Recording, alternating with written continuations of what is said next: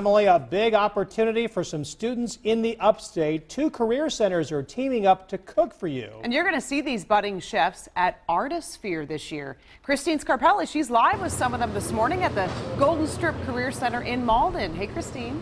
Hey guys, they're working pretty hard this morning. Yeah, and this is way earlier than maybe they would normally work hard. They're coming here to show off their skills for you guys this morning and really prep for a competition at Artisphere. So you can support these fantastic students from Golden Strip and Donaldson Center culinary programs. They're going to be competing on Friday, Saturday, and Sunday. Downtown Greenville Artisphere is coming. We've got some video of that, but first, let's introduce Eli this morning. Eli, Oh, Christine, can you hear us? We lost you. Yes, ma'am. oh Um, my goodness. We're making a uh, Mexican street corn this weekend at Artisphere. It's called elote. So Okay. we, we've created a chipotle lime cilantro mayo. um, Chipotle lime cilantro yes, ma'am. mayo. And um, so on site, we'll torch it just like you saw on the news. Give them a little action shot, and uh, I'll show you kind of kind of what it's going to look like towards Please. the end. Um, oh yeah.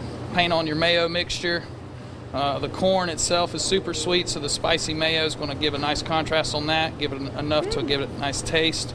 And then you got a little of this uh, cotija cheese. Oh stop. Oh, yeah. You don't want to stop there though. You're going to finish it with the um, Oh, the bright, vibrant taste of a little bit of cilantro. And tell me why you guys go and do all of this. It's got to be a lot of work to get everything and get to Artisphere. It's a little labor intensive, but for these students, uh, I can't explain enough how much this is going to give them the experience to work in, a, in an event of uh, just this magnitude and this size. So they're going to see, uh, you know, the ins and outs of how catering can be crazy, but also just like the time of their life. So I'm really hoping that they pull a couple of uh, great life stories from this. So. Yeah, you know, there's a lot of professional chefs out there as well. They may be going into that role eventually, so we look forward to that and what they can learn there. Guys, hang with us all morning. Hey, more of this coming up. Back to you. That looks amazing. I would totally eat corn Absolutely. like that. I'm- Thanks, I'm Christine.